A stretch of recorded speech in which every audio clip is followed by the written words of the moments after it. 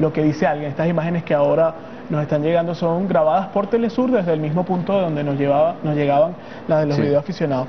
Habían fotos también eh, circulando por internet de unos jóvenes y había una que me llamaba mucho la atención, Luis. Era una pancarta muy grande, los jóvenes estaban sonreídos y decían, mamá, me fui a luchar por Venezuela. Si no regreso, es porque me quedé con Venezuela. Ese si no regreso, además una angustia para los Claro. padres. Pero, pero lo que me llamaba la atención, además de la, de la afirmación, es la sonrisa. Era una foto sonreídos que ellos Sí. guindaron por el celular, diciendo, bueno, si no regreso, ¿por qué? Porque si me pasa algo, si me mata el régimen, cantidad de, de cosas que son dignas de analizar en este momento, Sí. esa juventud, Luis, que de repente nos está escuchando, que está viendo estas imágenes y dice, eso no lo hicimos nosotros. Es. Definitivamente, eso no lo hicimos, claro, que no lo y- puedes creer. Claro, y fíjate que lo que yo te voy, lo que voy a decir eh, va a sonar bastante fuerte y quiero hacer quiero hacer énfasis en, en aclarar que lo que estamos diciendo no son todos. Yo vi eh, yo vi jóvenes no solamente consumiendo alcohol, yo vi jóvenes consumiendo droga allí. Nadie salga a decir que es que los que fueron allí todos llevaron droga para no, había grupitos, tú veías uno en una esquina, otro por allá. La el estado eh, en el que estaban estaban fuera de sí. Y, y allí podemos observar algunos de ellos cómo lanzaban cosas, bromas. No pude captarlos con la cámara, pero sí yo los vi en medio de la, en medio de la gente, yo los observé. Ahora, esos pueden ser 5, 10 de esos muchachos. Ahora, ¿cuánta violencia no puede generar un muchacho en ese, en ese estado? ¿Y quién los convoca? O los que ¿Y quién facilita? ¿Y quién facilita? Aquí repetimos, porque yo creo que es importante siempre tener conciencia del, del- del contexto histórico reciente. En el año 2002, en medio de las movilizaciones que terminaron con un golpe de Estado contra el presidente Hugo Chávez, bueno, aquello estuvo comprobado. Hay incluso una grabación de un señor dirigente opositor que le decía al otro a través de una conversación telefónica, bueno, nosotros les metimos bastante caña. Es decir, soltaban cajas y cajas de cerveza para que los muchachos que estuvieran allí o las personas, bueno, a través del alcohol, incluso a través de la droga, fuesen eh, asumiendo una actitud mucho más violenta que termine en eso. Si a eso tú, es como un cóctel, es un cóctel. Tú, si a eso tú le sumas unos señores allí, y fíjate que en muchos de estos jóvenes y en muchas de las personas que estaban allí, cuando tú entras a conversar acerca de los temas y de los argumentos del por qué están allí, ellos tienen un desconocimiento, algunos, sobre situaciones del país. Luis, estamos viendo eh, imágenes Telesur, son eh, vehículos Ah, bueno, del 6CPC incendiados. Sí, Eso también muy es cerca, del Parque Carabobo. Sí, muy cerca, quienes conocen la ciudad de Caracas, pero vamos a tratar de ubicarnos, ¿no? Eh, muy cerca de la Fiscalía General de la República, eh, yo diría que a unas dos cuadras, cuadra y media, están las instalaciones, una de las principales del Cuerpo de Investigaciones Científicas, Penales y Criminalísticas. Yo vi los funcionarios, fíjate que los funcionarios del 6CPC, oye, qué triste ver esas imágenes, yo no las había visto. Eh, cuando nosotros estábamos de salida, eh, los funcionarios del CPC me decían, oye, nosotros tenemos que taparnos las insignias y la broma para que ellos no vayan a pensar que nosotros queremos hacerle algo. O- o- es decir, los cuerpos de seguridad hicieron todo lo posible. Ahora, no puedes esconder la sede, ¿no? Claro. O sea, no puedes desaparecer la sede. Pero hicieron todo lo posible para que no darle el más mínimo motivo. Porque la actitud en la cual los muchachos estaban esta, era que si tú acercabas a un funcionario, era como que me vienes a agredir, me vienes a maltratar. La fiscalía, lo que colocó la barrera en la entrada principal, eran funcionarios de la misma fiscalía. Funcionarios, supongo yo, de seguridad, ¿no?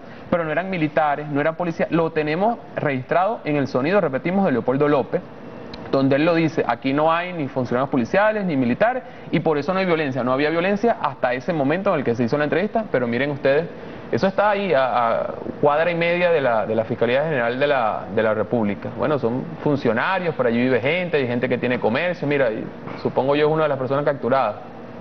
Porque ese es el tema, esa es la, la otra parte aquí.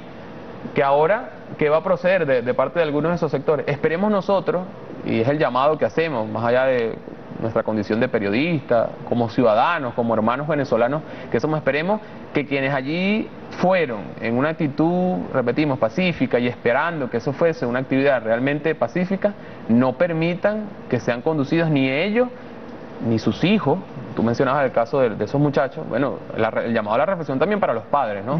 Es decir, una cosa es que yo permita que, que mi hijo, que mi hija vaya a una actividad política, a manifestarse, a quejarse, eso es absolutamente legítimo.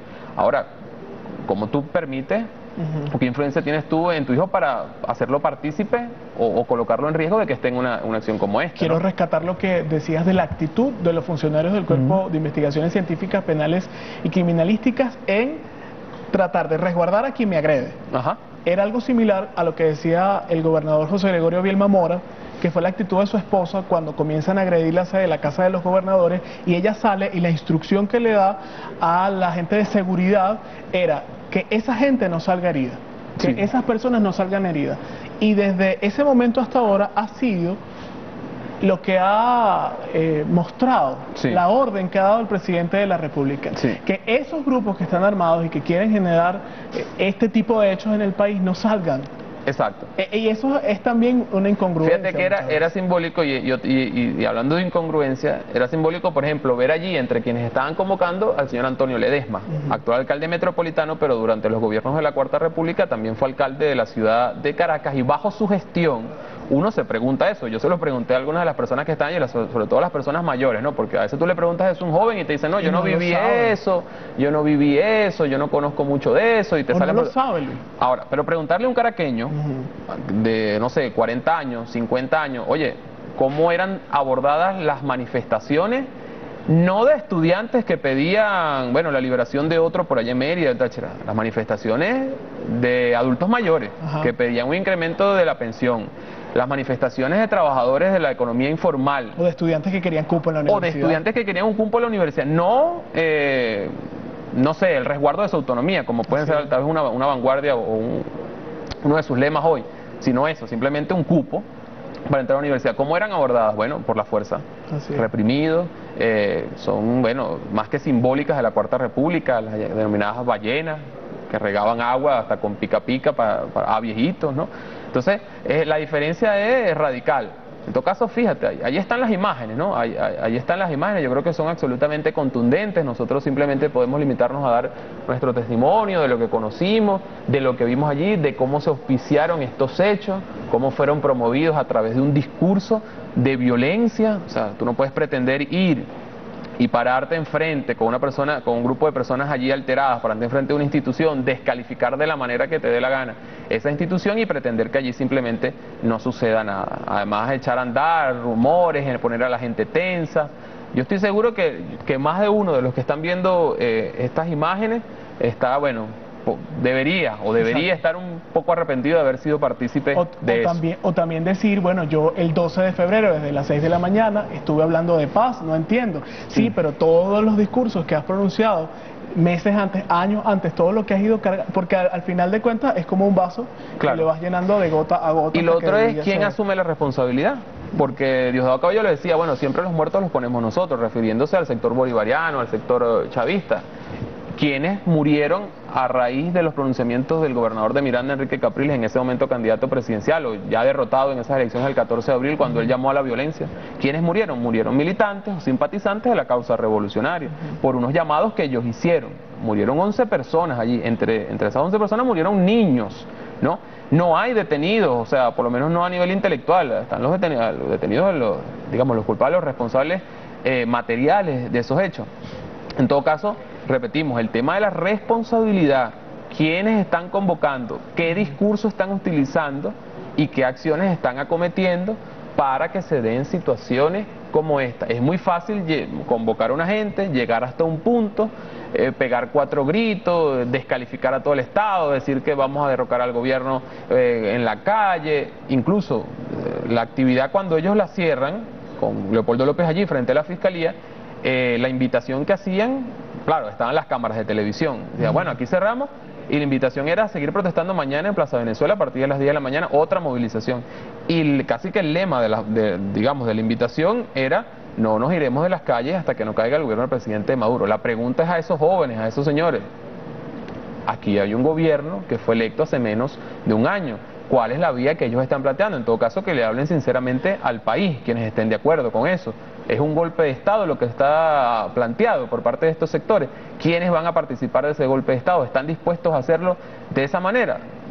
es algo que debería, digamos, y ahí, vuelvo, la responsabilidad del dirigente para hablar, hablar claro. Me, gustaría, ahí hay una persona en silla de ruedas, acabo de ver una persona en silla de ruedas. Mira, me gustaría mientras vemos estas imágenes, recordemos, son jóvenes de la oposición venezolana que en este momento están atacando vehículos del Cuerpo de Investigaciones Científicas, Penales y Criminalísticas incendiando vehículos luego de haber agredido las instalaciones del Ministerio Público. Unas imágenes que nos presenta Telesur. Quiero leer, mientras vemos estas imágenes, el mensaje enviado por el canciller Elías Agua a través de su cuenta arroba Jagua Miranda hace pocos minutos. Dice, Leopoldo López, responsable intelectual de la muerte y heridos en Caracas. El Estado no tiene más excusas para castigar a este asesino. Convocatoria hecha por el líder de la oposición, Leopoldo López, quien dijo, entre otras cosas, que había que radicalizar las protestas. Estos jóvenes atendieron esa llamada de Leopoldo López y llegaron con esas características a hacer este tipo de acciones en la zona. La policía, por supuesto, en principio protegiendo los espacios públicos y al momento de que se genera estos actos violentos con ese ánimo destructivo que realizaron estos individuos, pues la policía debió responder para proteger a los ciudadanos que estaban en toda esa zona.